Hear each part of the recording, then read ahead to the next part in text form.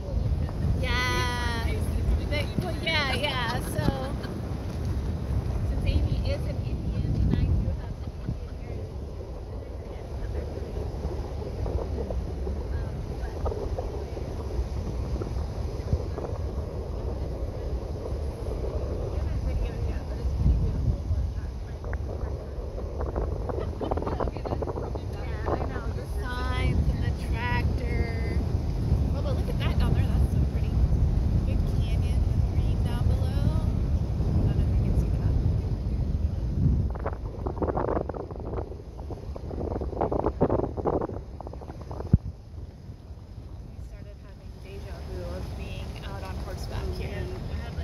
And Amy was the gun writer for the for the um,